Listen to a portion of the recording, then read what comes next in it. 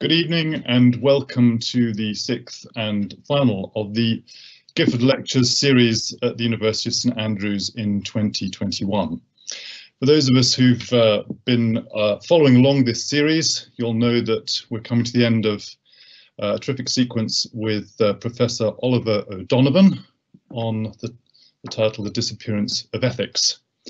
And this, the final lecture, will be entitled The Spirit and Recovery of agency.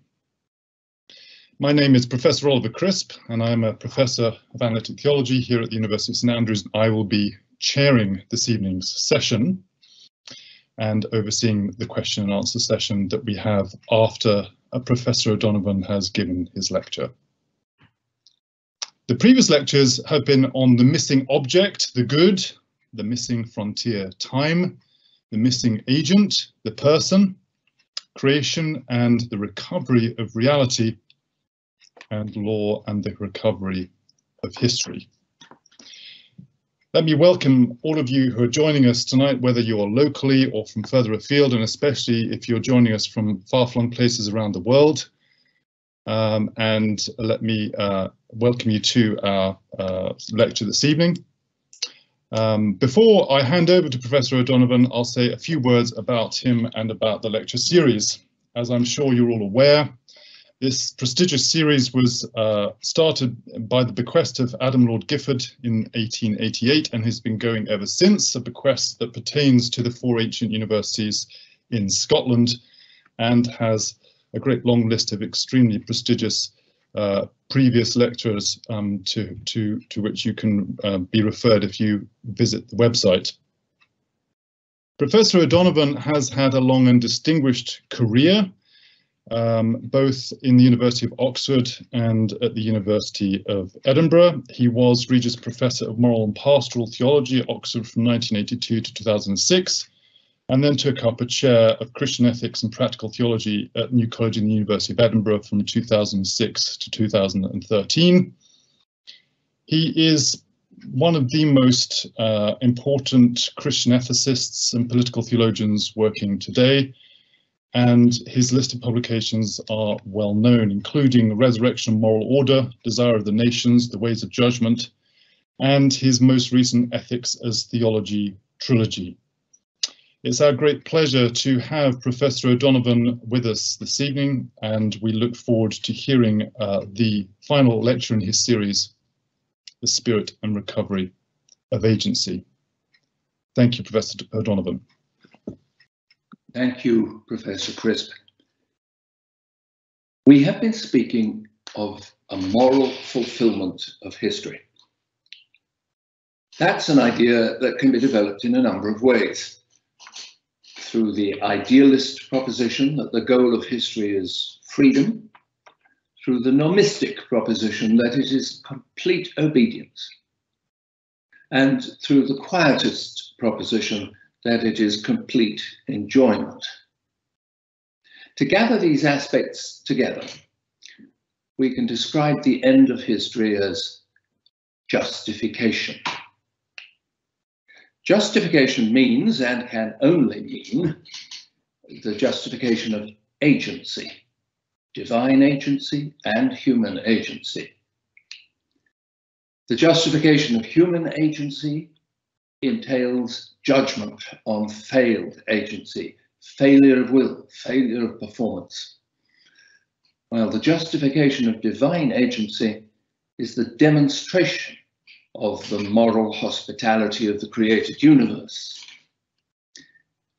Dietrich Bonhoeffer referred to the profound secret of history as a whole, that free action, as it determines history, recognizes itself ultimately as God's action.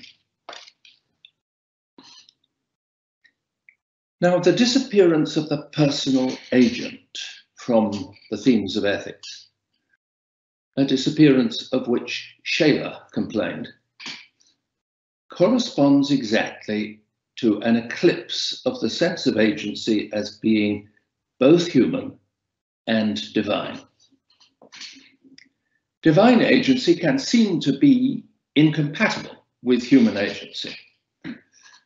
That has sometimes happened in some expressions of the doctrine of grace, which gets stuck in the destructive alternative. Either God acts or the creature acts, but both cannot act.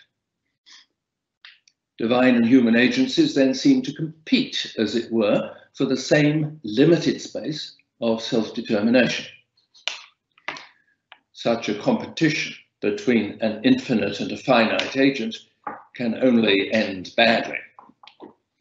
Either creaturely freedom turns out to be chimerical, or God absents himself in order to make room for it. This self-absenting may sometimes be accounted for in terms of separate ontological levels, parallel universes of infinite action and finite action, which never join up or interact. But that is a false trail. Action is necessarily determinate, which is to say it's finite. There's no action that does not begin at one point of time, end at another point of time, have particular effects, producing this rather than that. There's no action that does not intervene upon other action, enable, support, or frustrate other action. So language about the action of God speaks not of an infinite action, which would be absolute universal, have the same effects on all events equally and without distinction, but of an infinite being as engaged in finite ways in a finite world. A first or last act might be thought of as infinite, an act of creation or an act of decreation. But within the history of the world, as Barth says, God gives himself time, space, and opportunity to act. And then he goes on very importantly, we have to speak of an analogia operationis, an analogy of action. God operate occupies the same framework as human agents by analogy. That is, he performs some deeds and not others. He resists some purposes and supports other purposes.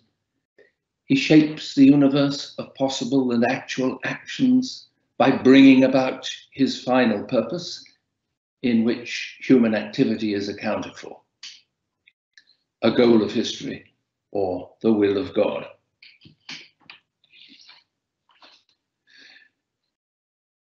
Now, it's only mechanical force that obeys the law that the greater always swallows up the lesser. And it is a mechanical model of agency that creates the false dilemmas that have sometimes been associated with the theory of grace. The current of a river absorbs the energy of its tributaries. A wall absorbs the momentum of a vehicle crashing into it. Agents, even agents with very different powers, do not absorb each other. And the proof of this lies in that most familiar of human experiences, cooperation. Two or more wholly free agents cooperate, exercising a common agency to a common goal without loss of the integrity of either. Now, not only is cooperation perfectly familiar to us, it is in fact the primary experience we have of acting.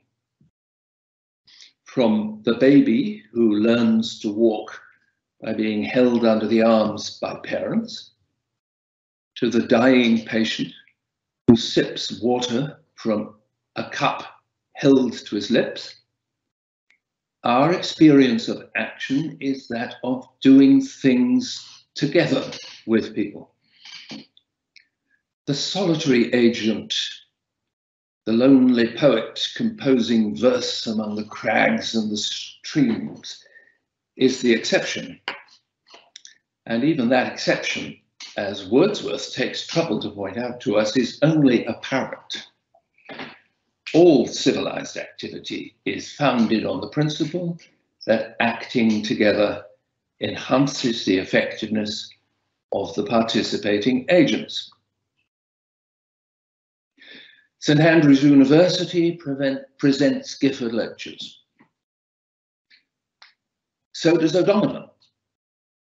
And yet there is only one set of lectures between the two of them.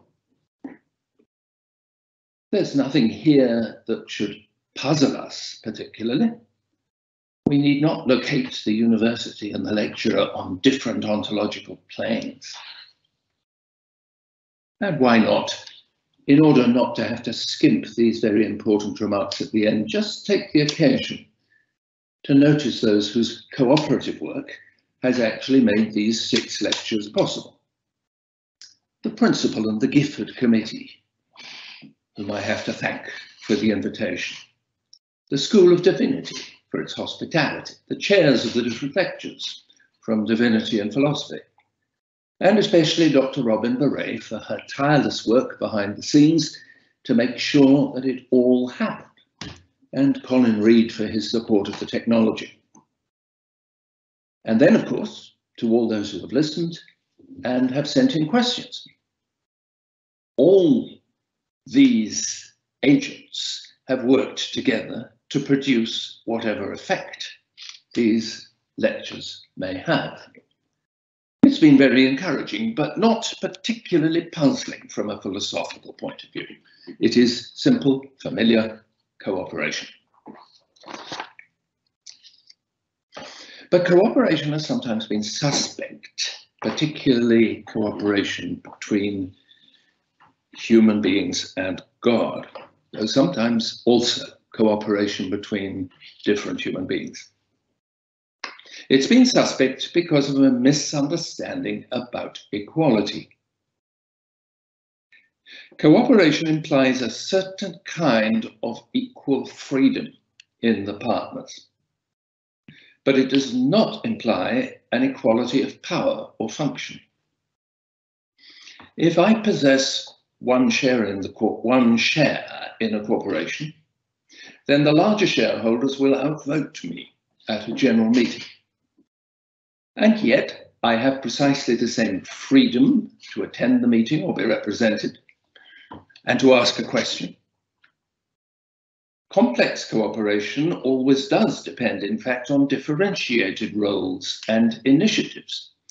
If the lecturer is to be free to give Gifford lectures, the university, and it must be a Scottish university, must first be free to invite the lecturer. There are many degrees of authority in cooperative relations. Students cooperate with teachers. Patients cooperate with physicians children with parents, citizens with governments. Authority is involved in all of those cooperative relations. Only one form of cooperation is defined by the absence of authority, and that is pure friendship. A treasure in itself, but it doesn't get everything done. That God is sovereign over history and the hearts of humankind does not detract from the freedom with which we align our wills with his will. It makes that freedom possible, in fact. So let us speak, always remembering that it's an analogy, but it's an analogy that deserves some confidence of a cooperative agency of God and human beings in shaping history. Without this, there could be no human freedom to act at all. Well, a theological name for this cooperation is ready and waiting. It is the Spirit. The Lord, said St. Paul, is the Spirit, and where the Spirit of the Lord is, there is freedom. By which, of course, he meant the freedom of perfectly ordinary human agents like himself to be fellow workers with God. The reference of the term spirit in the scriptures is famously fluid. It's predicated of the Godhead as a whole, as a quasi-definition of the divine milieu. It identifies the third person of the Godhead in Trinitarian doctrine, who bears witness to divine acts in history and evokes responsive participation. It refers to a historical breakthrough, the gift at Pentecost. It refers to the activity of God in creation. And spirit is a feature of human existence too. Sometimes theologians are embarrassed by this fluidity. It would be wiser to see it as the great strength of the concept of spirit. In the spirit, we see divine agency both as promise and as fulfillment. Spirit names that dynamic in history that is not natural to human existence, but goes beyond the cyclical repetitions of nature. A purely natural anthropology is dichotomous. It's organized as physical and psychological. It has an outer sphere and an inner sphere, a body and a mind, whatever. To add talk of spirit is to point beyond that natural organization to calling and fulfillment in history.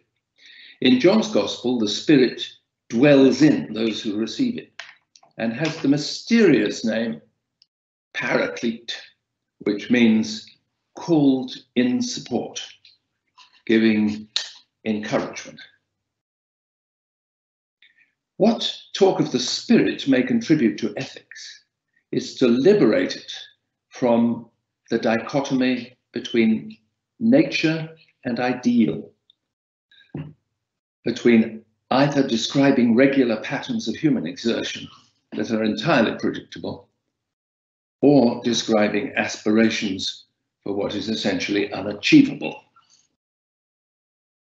We may still be surprised today, as Johannes Fischer was a quarter of a century ago, that the spirit makes so little appearance in contemporary theological ethics. Yet, of course, some caution is needed. Invoking the spirit casually and without thought presents us with a famous temptation, that of making God in our own image. The spiritual is too easily conceived in terms of the inner structures of human nature. We may identify the spirit with any human power that we particularly admire, with communicative powers of language, capacity for social cooperation or leadership, intellectual comprehension, speculative thought, or perhaps with the socially unifying forces we describe as the spirit of a common enterprise or a community. We thus make talk of the spirit conform to language about our nature. It represents nature's highest achievements, to be sure, but it's nature nonetheless. We project what we most admire about ourselves onto God. And by that route, we end up with a kind of nature divinity, though a very fastidious humanistic one. Talk of the Spirit must begin somewhere else. It must begin with God's government of history, the inscrutable character of which exposes these self projections to humiliation by events. It is in history that the Spirit is given to reveal God's purposes.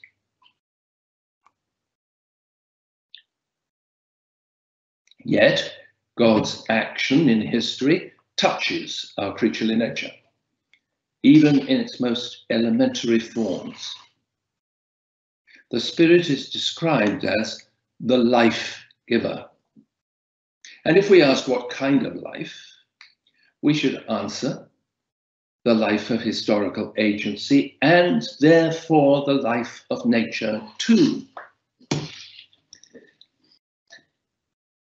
Sir James Macmillan recently composed a symphony about the Holy Spirit.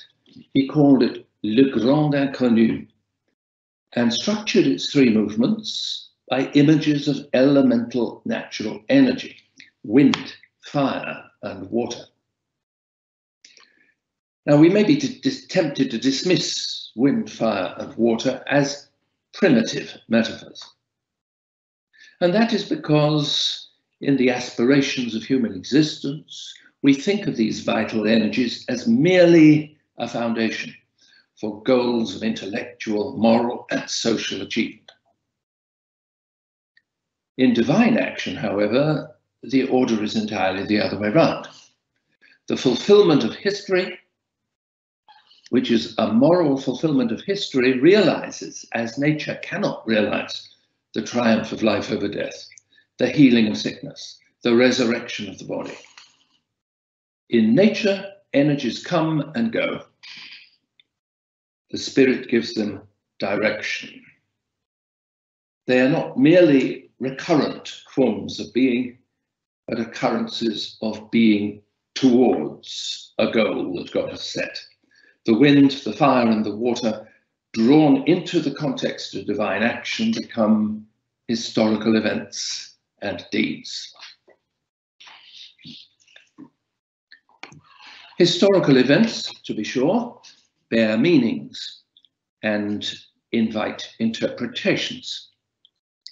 In another familiar pairing in the New Testament, the Spirit is contrasted with the letter letters on a page are seen. Their meaning is not seen, but read. The divine voice in the motions of the soul and community is never merely a primary vital energy. It is an interpretation of vital energy. So it was no less fitting that Sir James's work on the Holy Spirit was a choral symphony, dominated by voices, speaking or singing, both from God to creatures and from creatures to God. If we must accept the meaning of God's action as life, we must also accept that life is itself a meaningful communication. It speaks to us as it lives. The spirit who gives life gives freedom, which implies a discernment of meaning in events. So life is not simply what living things possess by definition. It is an address, a word that challenges us to insight and to answer. The charismatic communities of the New Testament knew that the life of the Spirit demands discernment a communication of something that does not lie on the surface of experience. In the person of the Spirit, we see the unity of life and understanding, the vital effectiveness of purposeful agency, which adds historical fulfillment to the gift of created being.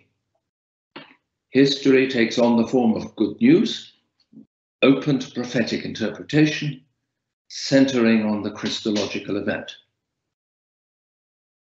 For the Spirit, as Jesus says in God, John's Gospel, bears witness of me.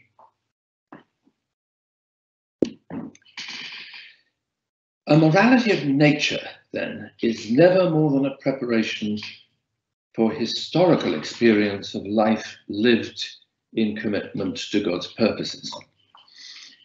Even if we cannot believe that such a life is given us, because we live in time, we're still liable to imitate it with pseudo historical realizations of morality in materialist or political kingdoms of heaven, which ape the Christological disclosure in some way.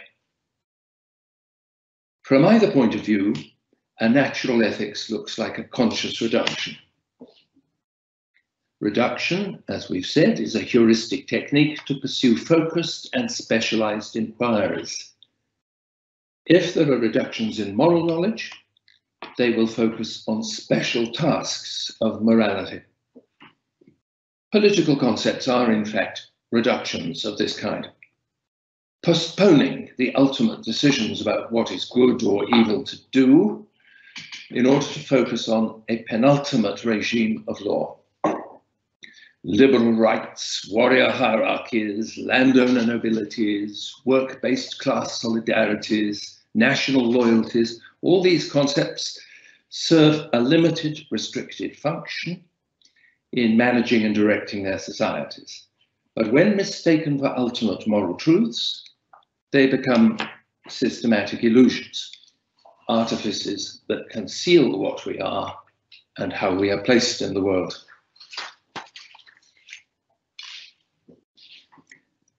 So how then may we describe human agency in the light of God's promised fulfillment? Let us begin by speaking of faith. Faith, it cannot be said too often, is a noun of action.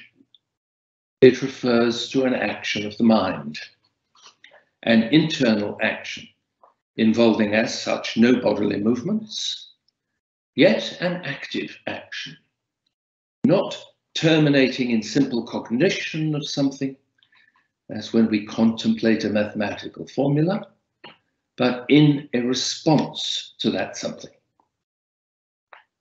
Faith is the hinge by which the practical function of reason is suspended on the cognitive. It's a wholly commonplace action. We perform it all the time, usually without thinking. In English, it's conventional, though no more, to speak of belief in relation to the more commonplace forms of the act, and of faith in relation to the more ultimate and weighty. But that distinction, unknown to many languages, is secondary. Faith in the strong sense is simply a special case of what human agents do. It is special because its object is special. It is the perception that history has been given a fulfillment and a purpose, that conscientious action is assured of its vindication. And such a perception can be grasped only as the Spirit makes God's work known. The act of faith responds to the promise of fulfillment, but it is also itself a part of history open to fulfillment. Two verbs are used by the New Testament to speak of the fulfillment of agency through faith. Two related verbs, conform and transform.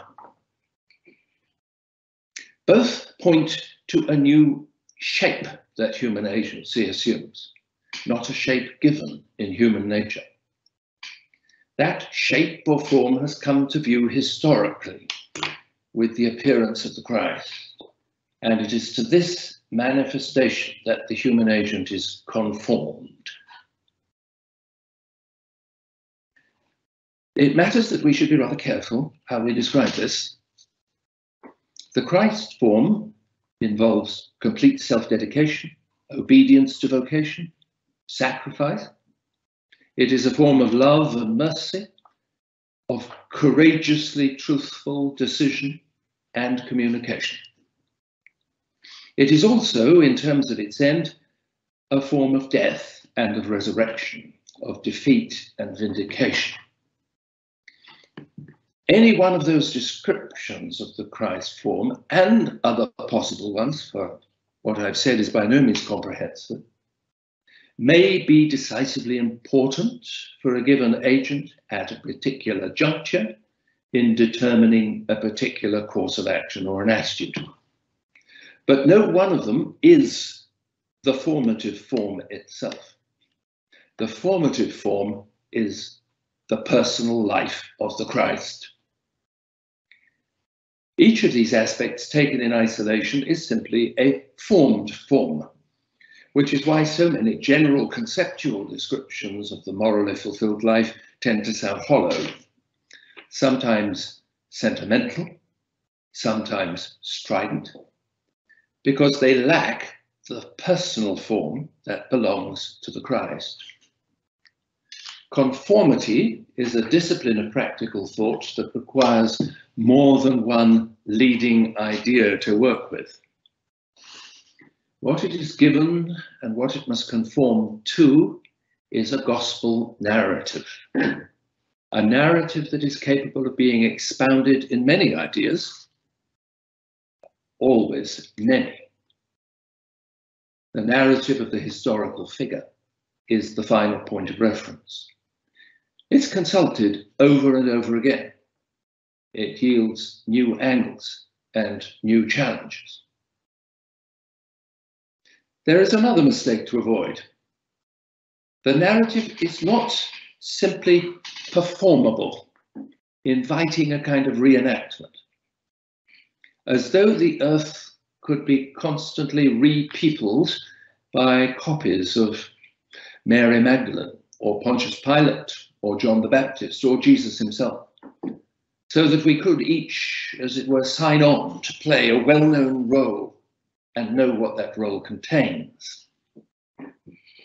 That would deny the form its power as promise. It would reduce it to repetition. Life in the wake of the Christological disclosure of history is still unscripted. The Christological form allows new answers to new questions, answers in harmony with past questions and answers, but never simple reenactments. The gift of the Spirit of Pentecost, we are told, was experienced in a community of faith in the Christological narrative as it explored its new gifts of tongues and charisms, powers of articulate speech and mutual service, all in the wake of the Christological event, exploiting the possibilities that it had opened up. Now, the form of Christ is a term that recurs constantly in the tantalizing drafts left by Dietrich Bonhoeffer for his never written Ethics. It's prominent especially in the early essay Ethics as Formation, where the form of Christ is the first reality of Christian ethics, to which all other forms of moral deliberation are subordinated. It is the cunning of serpents, Bonhoeffer tells us, to look for good and evil, not in actions, which may be wholly deceptive, but in persons who, in the crisis of his day, Bonhoeffer tells us, were like saints and villains out of Shakespeare walking about in broad daylight. I presume he meant Richard III and Macbeth, not Beatrice and Benedick, or Bottom, but saints and villains. In the burst of intellectual energy let loose by his reaction to the coming of war, Bonhoeffer seems to inhabit a positively apocalyptic moment at which reality unveils itself, he says, and instead of grey on grey, which had been Hegel's way of describing the work of philosophy, the brilliant flash and the impenetrable darkness of a thunderstorm surrounded him.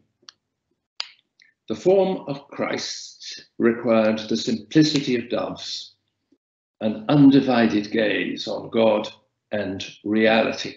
Reality meaning what God is accomplishing in the world. Ethics must point to Christ and cry, Ecce homo, behold the man. The philosophical and theological tradition of ethics in the West, Bonhoeffer held, had been at fault for elevating normative principles.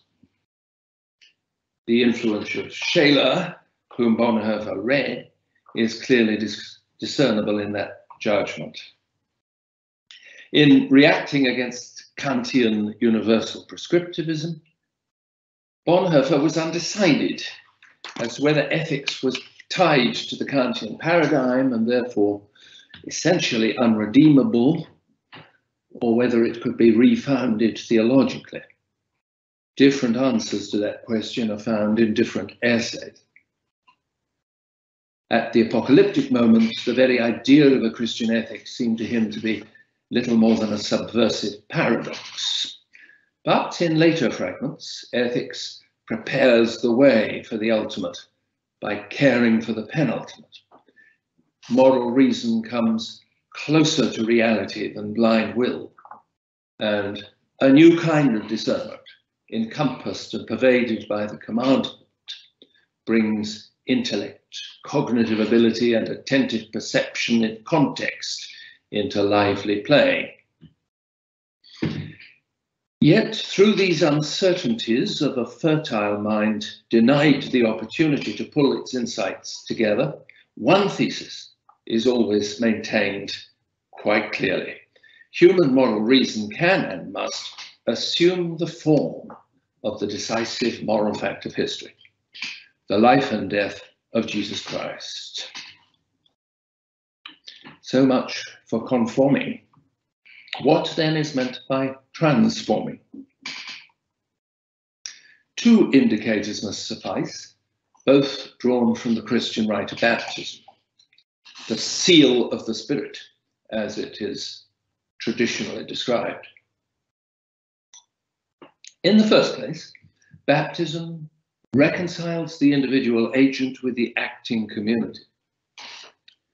In the second place, it reconciles the immediately present self with the moral future.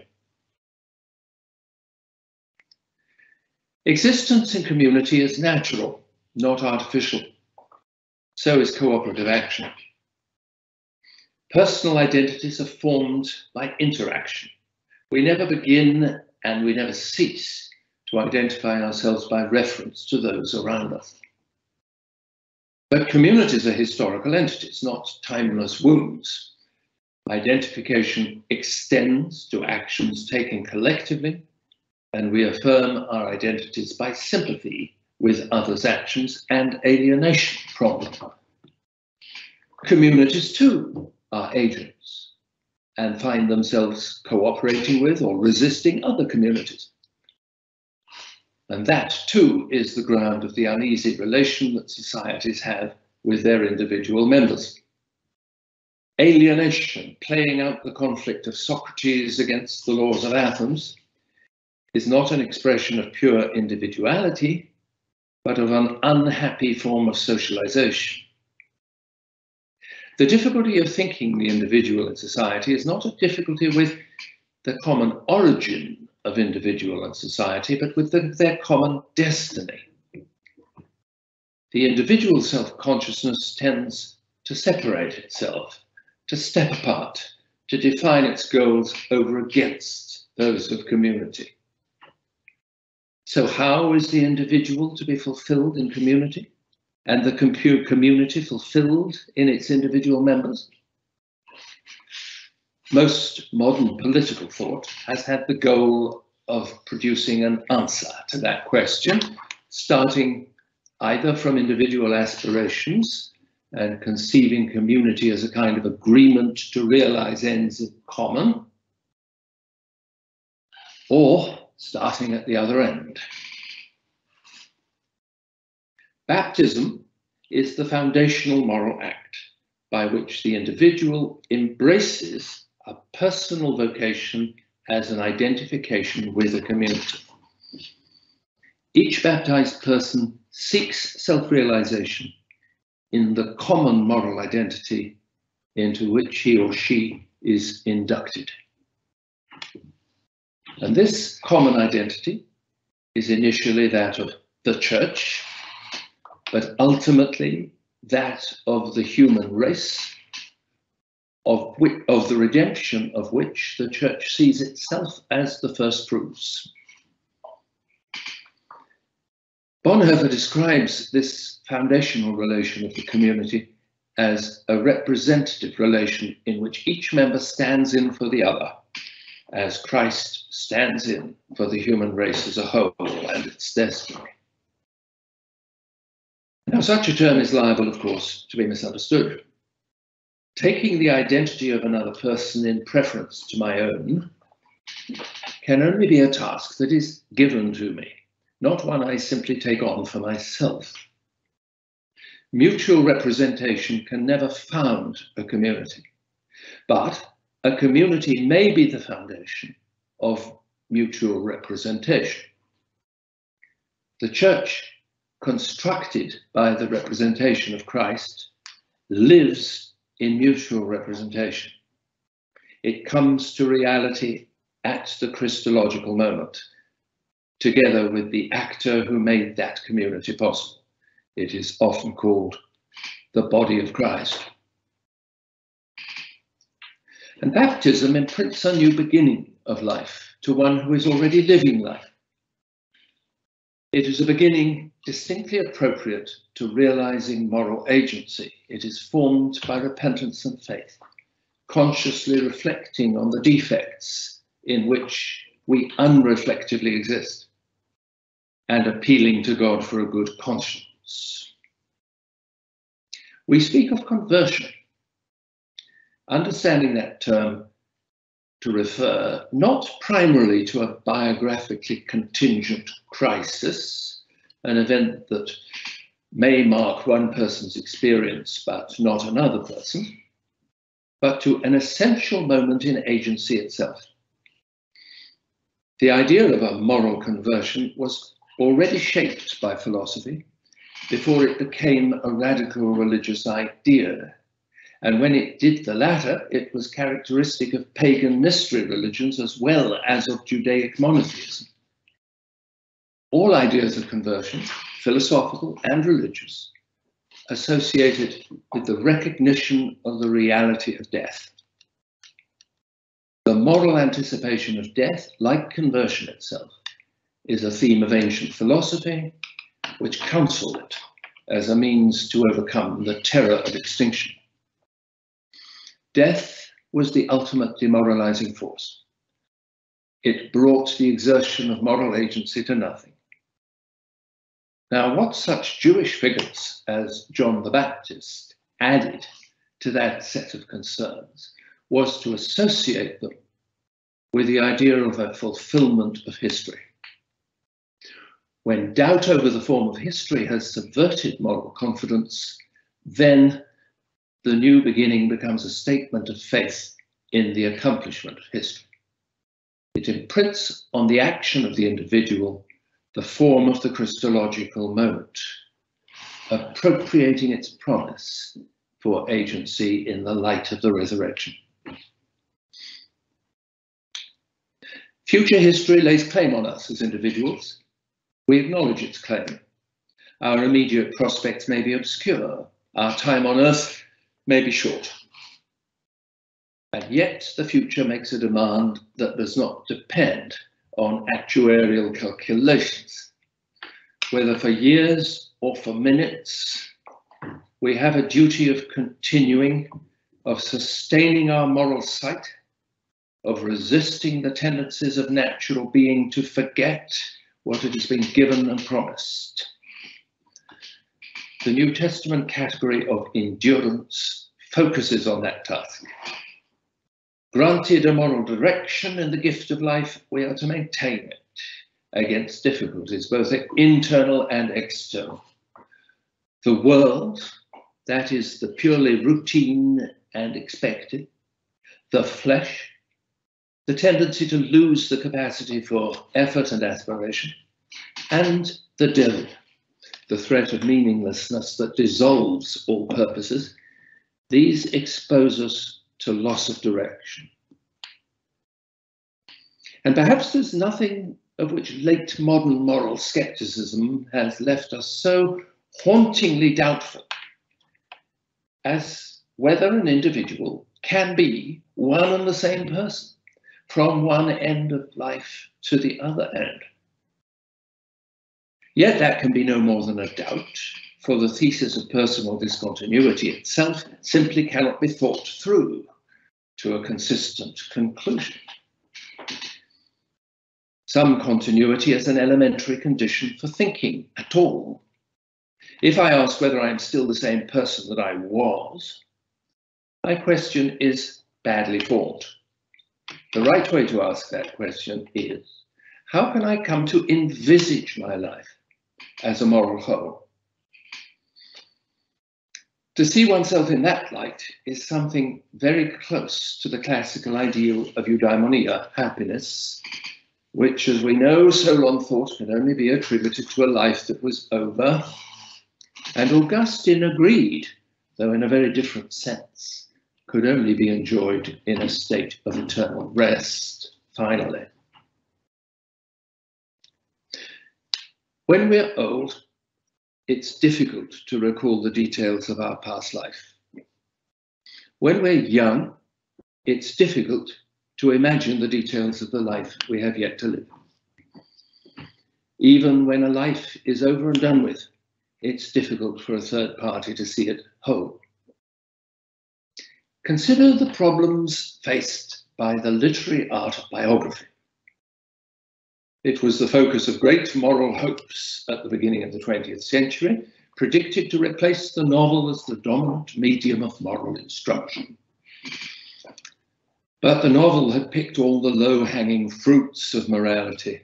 It had focused on crises that would force a character to choose, on trials and influences that would draw it out from its social background to emerge as a definite person. And after it had reached that point, they lived happily ever after, and that was the end of it.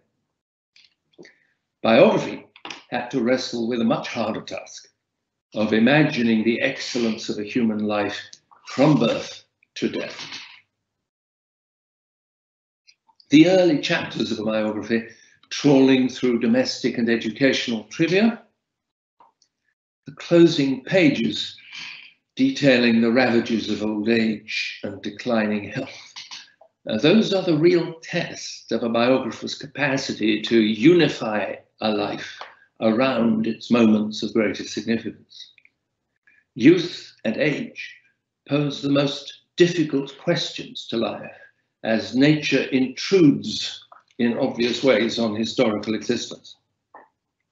And it's perilous, I would say, to conceptualize the human biography around a notional central point of adulthood, a time of achievement, when we can have the illusion that those questions are in abeyance, though of course they're not. Karl Barth showed his usual insight in identifying the question of the shape of our lives as a perennial sign of the providential work of God in sustaining nature in history. A life is one act. Its consistency must be evident if it's to be unified. Yet it's constantly involved in irreversible changes, some natural, some moral. It must have a beginning different from its end. It must have a direction leading from one end to the other without going round in circles. A personal life is not one in the sense that a natural organism is one, or as a historical fact is one. Once transacted, the historical fact is thereafter fixed and unchangeable. The portraitist can adopt the observer's point of view on the subject as a historical fact. Just think of Holbein's Henry VIII, a very complex depiction with many references to imagined or actual realities of 16th century absolutism, all brought together and concentrated in one personal figure, fixed in a posture that declares the unarguable facticity of political power. Yet the unity of that fact is not the unity of the living person. When Jesus was asked, Teacher, what good thing must I do to inherit eternal life? The answer looked for and given was about how to live in a definite direction, always on the move, and changing. Eternal life that is sought is sought to be lived eternally and therefore always as a goal. But it is not an alien goal, a horizon of becoming something else, a chrysalis turning into a butterfly or something like that. It is an inheritance that follows the doing and the being of life as we have it, a conclusion that intricately unites the self's living experiences. One of Kierkegaard's shorter and less celebrated literary works, the engaging essay called Repetition, is guided by this single philosophical question. How can the life of an individual achieve self-sameness? Repetition is reality, and it is the seriousness of life. That is the starting point. You're looking at a different translation of the same Danish sentence. But how can it possibly occur in the life of the spirit? Each experience we repeat is different next time. Merely recollecting and retaining the past achieves at most an anesthetizing uniformity, Kierkegaard tells us. Well, the answer he proposes is that self repetition in self transcendence is possible in acute suffering. Becoming oneself again is peculiarly reserved for the sufferer. Job, the paradigm, refuses to yield to the view of himself he is offered by his comforters. He clings resolutely to the self experience in which freedom's passion in him is not smothered or quieted down by a wrong expression. He cannot repent what he has been, except before God, because only God can give him back what he has been in true self knowledge. Looking to God to reconcile his past and his future, he reaffirms himself, ending where he began, but in a quite different way. He has received everything double. Job's sufferings, Kierkegaard encourages us to think, are by no means over. Though once grasped as a probation, they can be received and lived as a reward. Well, here we may be tempted to think is a modern version of the old Aristotelian Thomist account of character, formed by repetition of acts that express given virtues. In fact, I think the modern account of repetition is importantly different. Where the older account had a pedagogical focus, viewing repetition as a training, a precursor to virtue, forming patterns that were eventually to become second nature, Kierkegaard is famous for treating virtue and its ethical ambitions as merely a precursor to faith. Faith is the true light of the spirit, the inner side of freedom. Job's established virtues belonged to the role he lost, not to his innermost life as a sufferer. New roles need new virtues, but faith repeats itself and in repetition, it acquires the form of faithfulness. It's time to look back over the journey we've taken in these six lectures.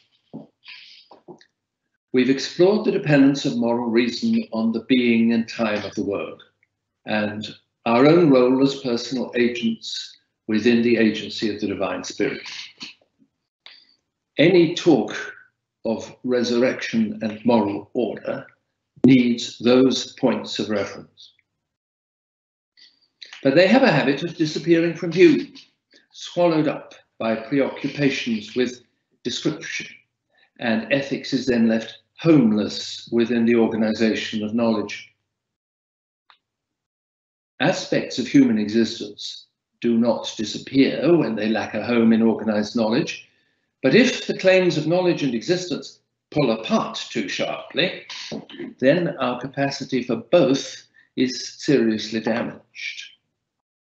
Knowledge without a knower, existence without disciplined reflection and understanding, moral reason without reflective self-direction. These are the fragments of ethics that are left to us once the essential reference points have disappeared.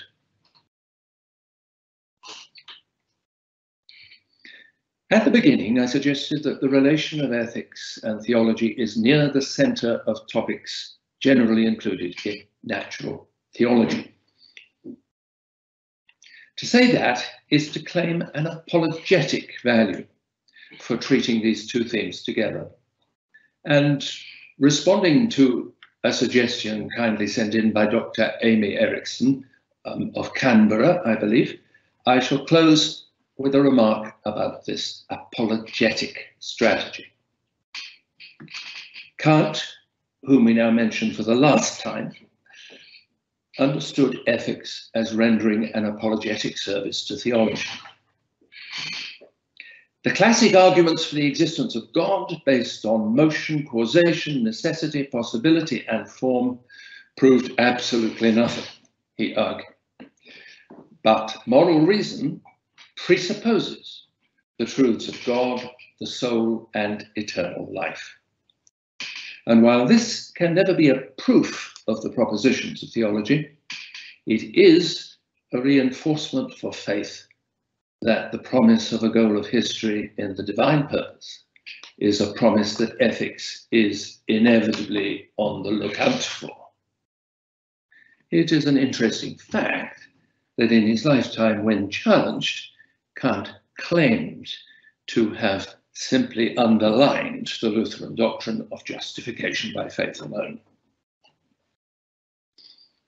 Well, to Kant's uh, account of the apologetic service rendered by ethics to theology, I merely add that an apolog apologetic service conceived this way is inevitably mutual. It runs the other direction too. Theology, in teaching us to bless God for our creation, preservation, and all the blessings of this life, which is to say for nature, for history, for concrete personal and interpersonal existence, anchors us in an existential wonder without which ethics cannot begin and without which it cannot continue. And it therefore protects the inquiries of ethics from the very real and present danger of a disillusioned skepticism that can leave them looking quite pointless. To take a recent painful example, when we wondered how we were to live in the midst of a dangerous pandemic, the specialist knowledge of the epidemiologists and the virologists, important though it inevitably was, was clearly not sufficient to guide reasonable decisions. Following the science was a limited, a limiting constraint for decision makers, but it was not a direction. Science has no direction that it has not already at some point borrowed from life itself. Science is simply the observation of natural regularities.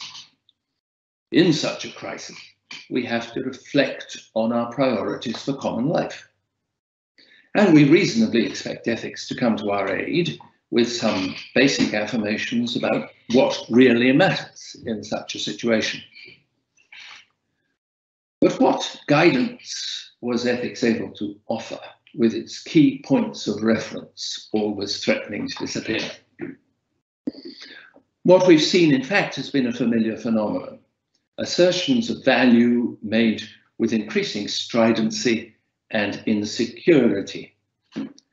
The priority of the protection of human life has been assumed and not reasoned. The resort to technology has been instinctive and not calculated. Our responses, undermined by the broader descriptions of biological reality, reality which are in currency, have been in constant unresolved tension with our other dominant cultural concern, which is the health of the wider planetary ecosystem. Nobody mixes talk of defeating the coronavirus and of protecting biodiversity.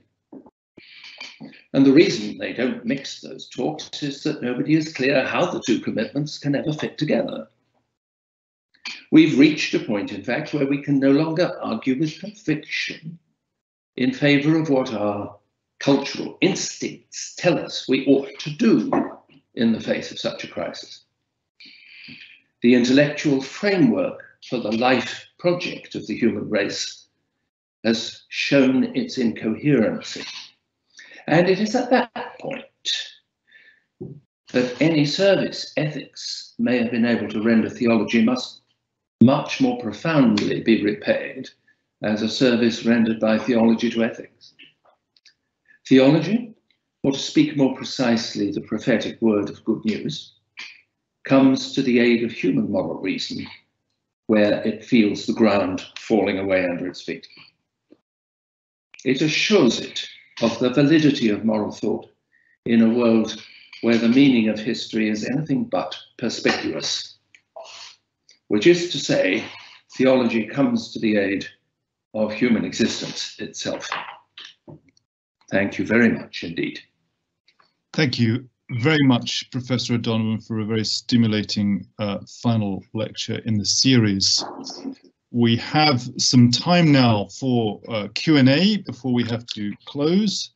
And as uh, our audience online uh, begins to tap in their um, questions to uh, the the online function on um, Teams, may I may I offer an opening question? Um, given the kind of shape of the lectures and where you were going with the account that you gave today, especially as you ended on the notion of ethics and as an apologetic for theology, uh, I thought I might ask the potentially naughty question to uh, a professor of many years of teaching in the university, which is, given that way of thinking about the nature of ethics and its shape, how does one approach the task of teaching theological ethics to undergraduates? Oh, I've no idea at all. Um, I, I spent 40 years trying to find that out. Um, and uh, right up to the end was deeply discontent um, with anything I could offer under the shape of a, a course, particularly an introductory course in ethics.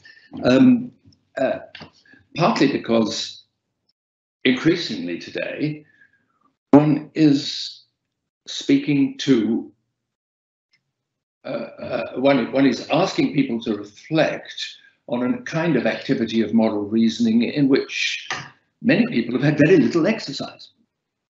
The aim of such teaching, and the most important, is to try and give the student a sense of what it is like to occupy the posture of asking a moral question with a real need to know the answer.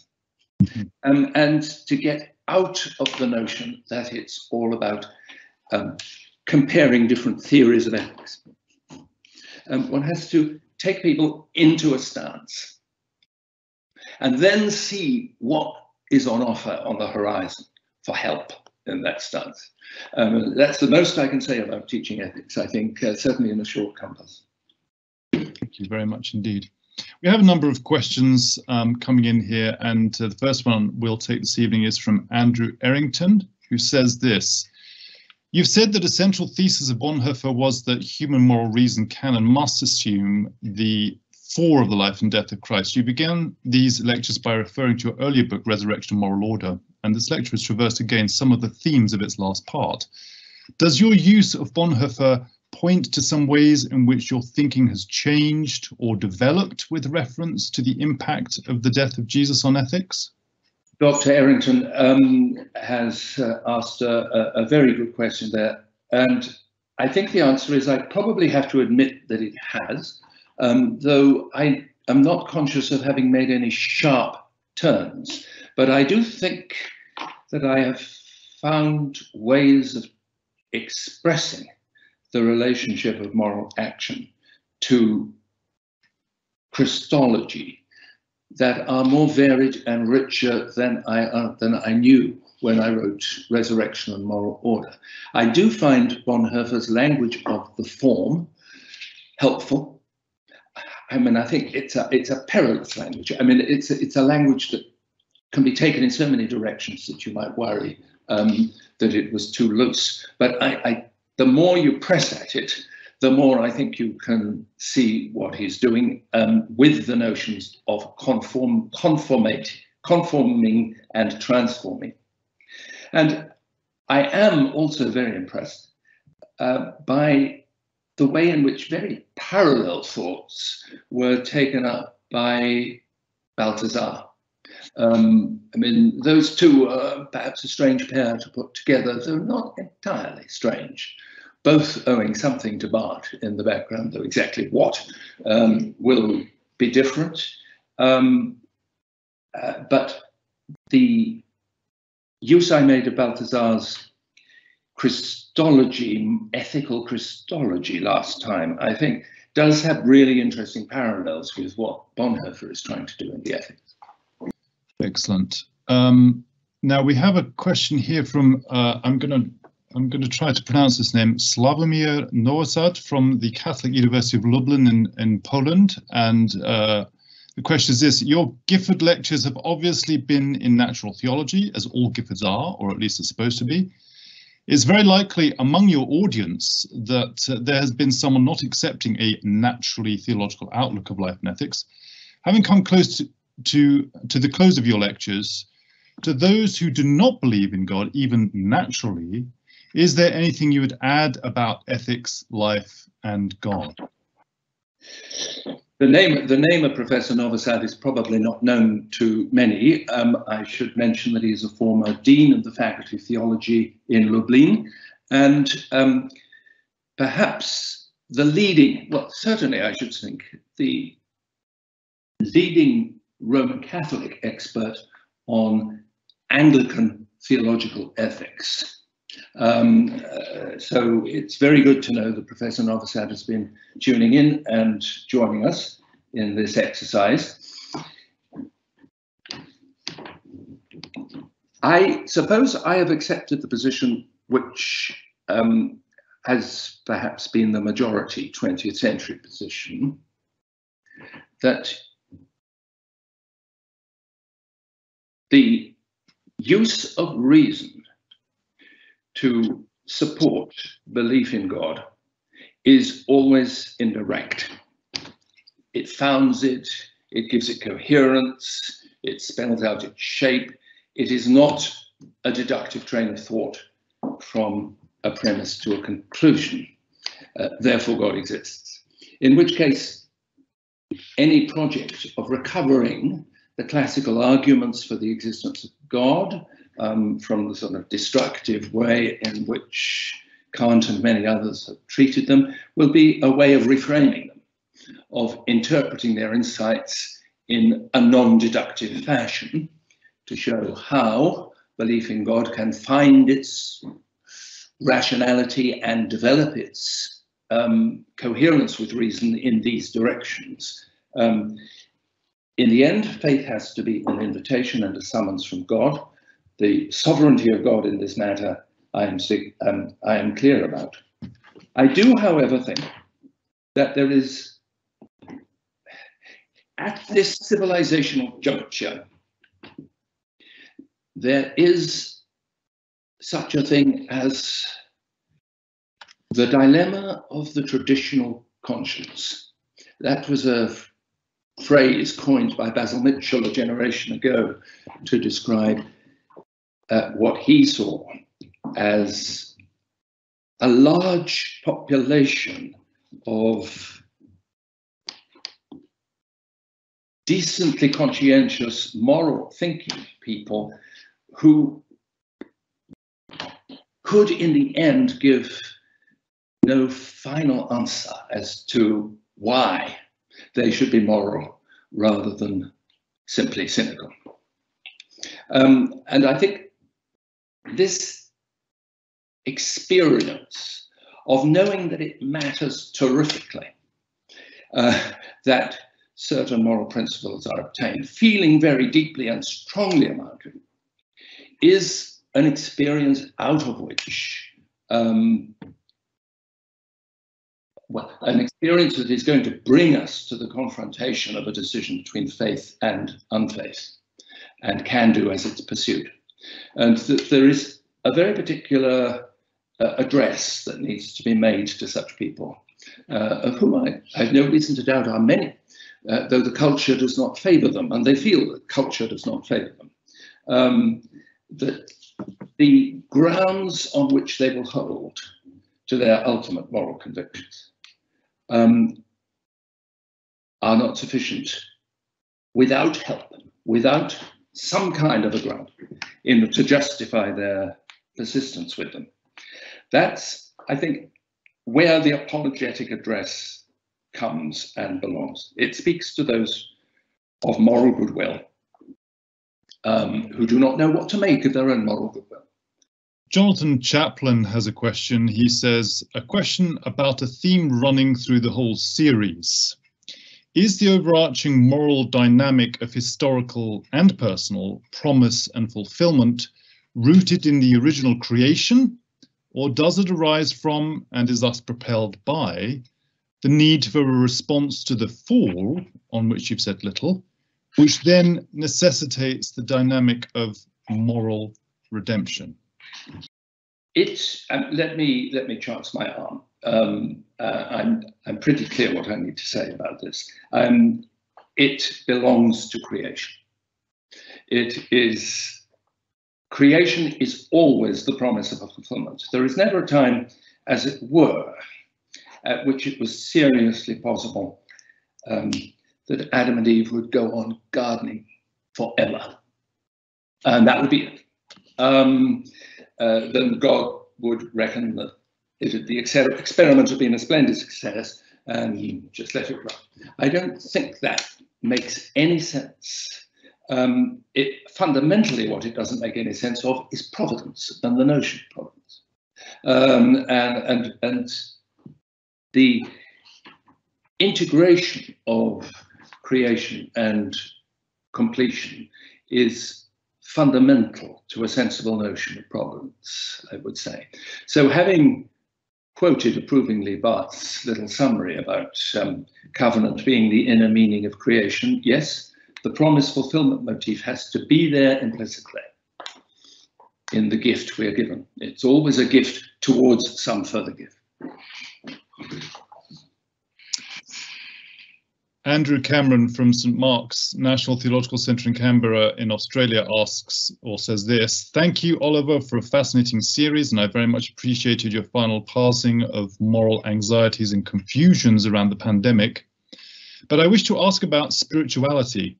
May we participate in burgeoning talk of spirituality? Is it a natural theology and inchoate yearning for the spirit? Or is it too inimical to life in the spirit as you've described it and too evasive of responsible agency to be of use? Well, I'm glad I'm I'm glad Dr. Cameron asked this. Um, uh, this is that if you're going to write a lecture about the spirit, this is, as it were, the question that's in the back of your mind the whole time.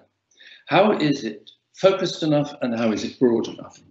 Um, uh, uh, I've done what I can with that. The term spirituality um, looks like, I mean, just from the way it's formed, looks like one of those classic attempts to take a historical concept and to turn it into some kind of pseudo law of nature. Um, uh, this is, of course, a habit of human thought um, that, that, we're always engaging in. Um, when something happens, uh, something that is by its definition unique, we find reasons for it. Um, and if we're not careful, instead of just narrating it, saying, well, this happened and this happened because this happened and this happened because this happened, we end up by trying, as it were, to formulate a scientific law of the kind whenever conditions of this, that, or the other kind obtain, then something of this kind happens. Um, there's a very famous example in the middle of, um, just en passant, the middle of Maritain's Man and the State, in which he refers to the secularization of the state in um, modern in the modern West, and refers to this process, which by definition is something that has only ever happened once, as quite normal. Normal as what? One asks. Now, if you talk spirituality, you are beginning to talk, I think, the language of what is quite normal, and try to encompass the work of the Spirit of God, which is historical into some concept of normality. Me and my inner self, um, the mind, the subconscious, and so on and so on, which will accommodate it. And I think the question is angling for me to say, and I say it gladly, uh, no, it won't accommodate it. Not if you treat it like that. Um, Guido de Graaf of St. Augustine's College of Theology says this, I wonder about what you said concerning the analogy between human cooperation and divine and human cooperation. I appreciate your emphasis on it being an analogy, yet I still wonder how this relates to what you reminded us of during the last lecture, I think, namely that the meaning of our works will only be revealed at the end, indeed primarily, as you stressed, in that second book referred to in Revelation. Does this second perspective stress the different levels on which human and divine action operate, if not, of course, in separation? Analogy is one of those words that covers a multitude of intellectual sins, isn't it? And I think you're asking me whether I have to um, confess to one or two of them here. I think my first move is simply defensive. I'm going to say, at least once, possibly more times, that's exegetically discussable. The notion of human divine cooperation is quite clearly articulated in the New Testament. We've got to make something of it. Let's start by trying to understand that and not trying to get rid of it. Um, and so uh, that I think emboldens me to feel that what the New Testament can say, the theologian can echo. I mean, and if that's not the case, then theologians are in a funny position. Um, but at the same time, understanding this form of cooperation is obviously uh, requires a sense of the difference as well as the sameness between uh, divine human and human human cooperation. Two people agreeing to do something together define fairly clearly to each other's understanding or should do what it is they're going to do. Um, one of the ways in which cooperation can break down is uh, unclarity about that definition so that something isn't shared. In what sense can we transfer that to the work of God? Well, I think we have to say that God has, that not only are God's purposes waiting to be revealed at the end, they are also in an important sense disclosed. That God has found his forms in which to speak to us of that to which our human lives are directed. Um, and here perhaps uh, it's of it's of special importance um, that the the Christ event the event of, of Christ's own life itself is not only an event of obedience, of death, of resurrection, it's also an event of teaching and instruction. That there is a form, uh, a communicable form. Um, you may find it in the Sermon on the Mount, perhaps, which, as it were, tells you focus your intentions and purposes here, and you are in line with God's intentions and purposes. That may be an appropriate point at which for us to draw this to a close. Thank you very much, Professor O'Donovan. It remains for me as chair to offer some thanks to a number of people who've been involved in this wonderful series of lectures. First of all, let me thank Principal Sally Mapstone for her kind words of introduction at the first lecture, and Lewis Wood for coordinating on behalf of the Principal's Office for the University. Uh, I'd also like to thank the lecture chairs who've preceded me, including uh, Dr. Stephen Holmes, Professor Judith Wolfe, Professor John Haldane, Dr. Andrew Torrance, and Dr. Rebecca Lamb. And it would be remiss of us not to also thank those who've been doing all sorts of wonderful things behind the scenes, um, including um, Rob, Dr. Robin Buer, uh, as well as the IT and events personnel at St Andrews who supported us behind the scenes, Colin Reed, Timothy Oldfield, uh, Lauren Sykes, and Mark Cathro. Thank you so much for your help and support. And to all those of you who've attended and watched the lectures after the fact on YouTube and contributed to the rich conversation and thoughtful questions that have been fielded in the Q&A. Thank you so very much. But of course, uh, uh, final thanks must go to Professor O'Donovan himself for what have been a wonderful and insightful series of lectures this year. Thank you very much indeed, Professor O'Donovan, for sharing your wisdom on these matters with us. That concludes uh, our lecture series Uh, at the University of St Andrews, the Gifford Lecture Series for 2021. So thank you very much for your participation. Thank you, Professor O'Donovan.